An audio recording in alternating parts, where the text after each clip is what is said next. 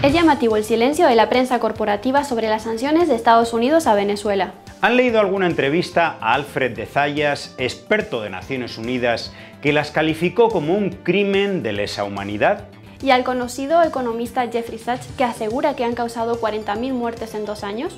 Otro experto de la ONU, Idris Yazairi, denuncia que los bloqueos a Cuba, Venezuela e Irán son una violación masiva de derechos humanos. Un intento de cambiar gobiernos mediante desastres económicos y humanitarios convirtiendo a la población en rehén político. Pero en el New York Times, Le Monde, El País, reina el silencio.